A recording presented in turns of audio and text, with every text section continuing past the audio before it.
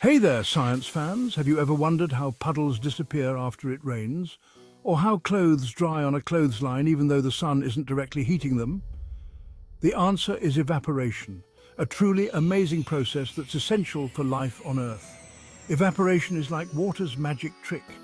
It transforms liquid water into an invisible gas called water vapor, which then floats up into the atmosphere. Evaporation is a key part of the water cycle, the continuous movement of water on, above and below the Earth's surface.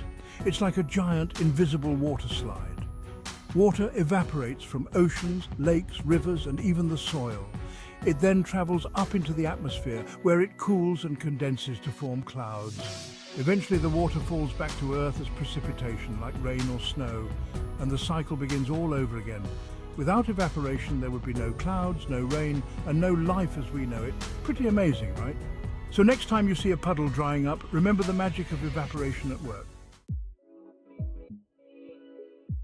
Now that we know what evaporation is, let's dive a little deeper and explore the factors that influence how quickly water evaporates.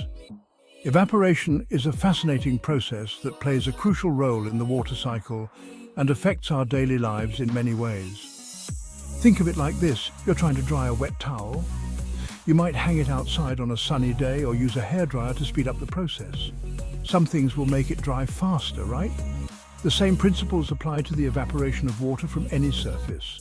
The same goes for evaporation. Several factors can influence the rate at which water evaporates, and understanding these can help us predict and even control the process. Temperature. Just like that towel dries faster on a warm day, higher temperatures mean faster evaporation. When the temperature rises, the water molecules gain more energy. Heat gives the water molecules more energy to escape from the liquid state and become a gas. This is why boiling water produces steam so rapidly solar radiation. The sun's energy is a major driver of evaporation. The more intense the sunlight, the more energy is available to convert liquid water into vapor. More sunshine means more energy to power the transformation from liquid to gas. This is why water bodies tend to evaporate faster on sunny days. Wind speed. Imagine trying to dry your hair with a hairdryer. The moving air helps to carry away the moisture. A stronger wind does the same thing for evaporation. It increases the rate at which water molecules leave the surface. It sweeps away the water vapour that's already evaporated, making room for more water molecules to escape. This is why windy conditions can lead to faster drying. Humidity. If the air is already full of moisture, high humidity, it's harder for more water vapour to evaporate. The air can only hold so much water vapour. Think of it like trying to add more clothes to an already full dryer. The more saturated the air, the slower the evaporation process. Surface area. A larger surface area means more water molecules are in direct contact with the air, leading to faster evaporation. This is why spreading water out over a larger area can speed up drying. This is why a shallow puddle dries faster than a deep bucket of water. The greater the surface area, the more opportunities for water molecules to escape. Water quality. Believe it or not, the stuff in water can affect how quickly it evaporates. Impurities and dissolved substances can alter the evaporation rate. Water with more dissolved salts, like seawater, evaporates more slowly. The presence of salts increases the boiling point and reduces the rate of evaporation. Atmospheric pressure. Lower air pressure makes it easier for water to evaporate. At higher altitudes, where the air pressure is lower, water boils at a lower temperature. Think of it like taking the lid off a pot of boiling water. The steam escapes more easily. This is why cooking times can vary at different altitudes. So the next time you see a puddle, think about these factors. Consider the temperature, sunlight, wind, humidity, surface area, water quality and atmospheric pressure and see if you can guess how quickly it will evaporate. Understanding these principles can give you a new appreciation for the everyday phenomenon of evaporation. We've talked about water evaporating from surfaces like lakes and puddles, but did you know that plants play a big role in evaporation too? Yes, plants are not just passive players in the water cycle, they are active participants. It's true. Plants release water vapour into the atmosphere through a process called transpiration. This process is crucial for the plant's health and for the environment. Plants need water to survive and they get it through their roots from the soil. The roots act like straws, drawing up water and nutrients from the ground. But they don't use all the water they absorb. In fact, a significant portion of this water is released back into the atmosphere. Some of it escapes through tiny pores on their leaves called stomata. These stomata are essential for the plant's ability to breathe and regulate its internal water balance. These stomata are like little mouths that open and close to allow for gas exchange. They play a critical role in photosynthesis, the process by which plants make their food. When the stomata are open, water vapour inside the leaf escapes into the atmosphere. This is transpiration. It's a fascinating process that helps to cool the plant and maintain its internal water balance. When we combine transpiration from plants with evaporation from land and water surfaces, we get a super important process called evapotranspiration.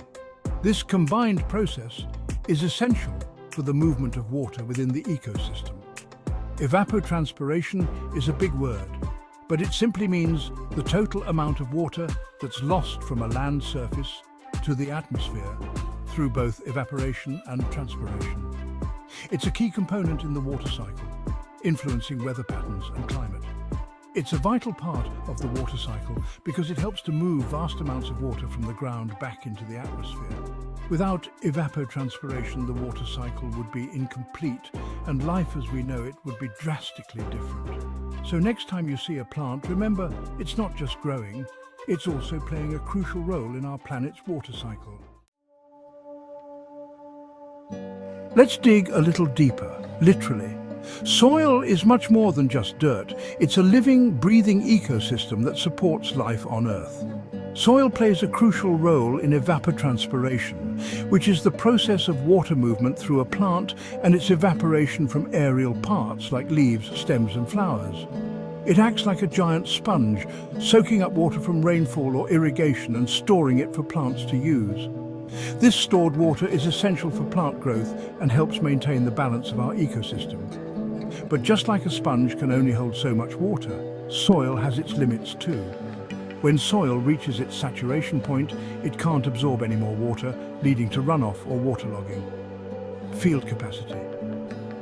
Imagine watering a potted plant.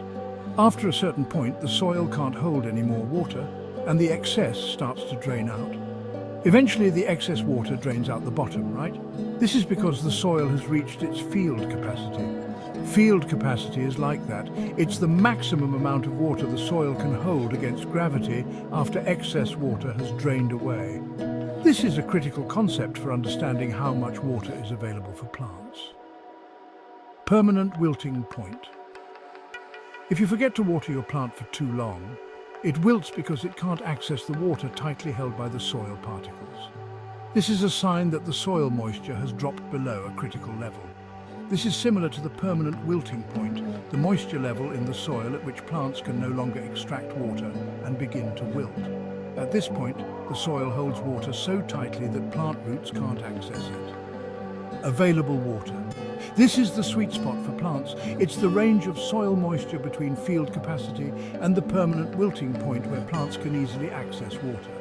It's the amount of water in the soil that's actually available for plants to use, falling between field capacity and the permanent wilting point. This is the optimal range for plant growth and health. Understanding these soil water concepts is crucial for farmers and gardeners because it helps them determine how much water their plants need and when to irrigate. Proper irrigation practices ensure that plants receive the right amount of water, promoting healthy growth and maximizing crop yields. So next time you see soil, remember it's not just dirt, it's a vital resource that supports life, playing a key role in water management and plant health. By understanding and managing soil moisture, we can create thriving gardens and sustainable agricultural systems.